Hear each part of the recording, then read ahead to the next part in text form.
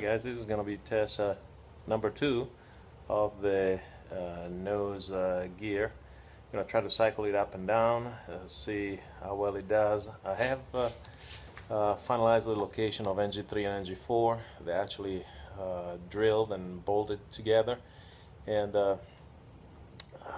should should work out alright. So we're going to cycle the gear one time and show you a little bit how things look usual setup here the jumper cables are connected uh, to the rat's nest over there. Plus and minus uh, going to the proper uh, leads. And so everything is connected. As I was telling you see NG3 and NG4 right there bolted together and attached attached to the actuator. So so you can get this to focus. Let's try uh, the gears up right now. I try nose gear down. And it should work without any trouble. Let's take a look at it.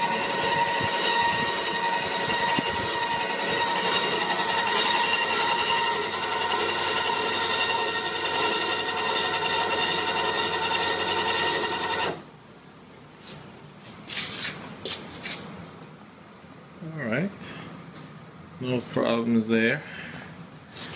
Now we're gonna cycle it up and uh, make sure it retracts properly into the wheel well. back to, we got gear down, green light, and now gear up.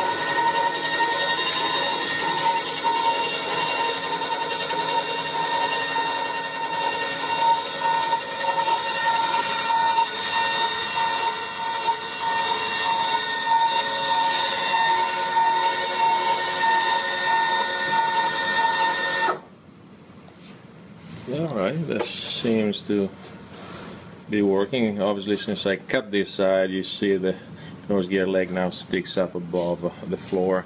I'll let you fix and bridge that part later. You can see. But let's look underneath. Make sure no gear sticking out. There's a nose gear right there.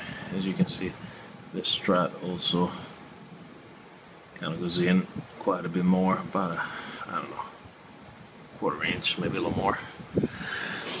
So I say the test is uh, successful and uh, we'll just call it a night.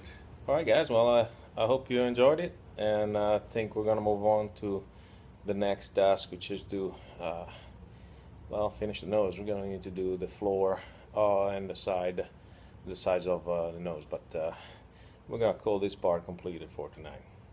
All right? Thank you.